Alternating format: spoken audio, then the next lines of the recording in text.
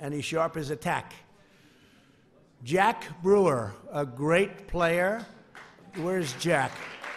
A great NFL player.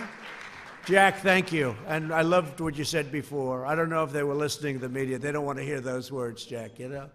But what you said, I know they are, and I appreciate you saying them too. But uh, really, that was beautiful.